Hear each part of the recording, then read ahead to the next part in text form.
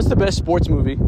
It's either Coach Carter or Remember the Titans. I love music and basketball, so I would say above the rim. Above the rim? Coach Carter is a classic. Yeah, classic. that's the one. What's the best sports TV show? Truthfully, bro, first two seasons of Last Chance, Chance U. U. That's a good answer. What's the best sports jersey? I'm not gonna lie to you, bruh. The Toronto Raptors jersey colorway. Yes, hard. bro. The Toronto with the dinosaur on it. Yeah. That's the one. What's the best pregame song to listen to?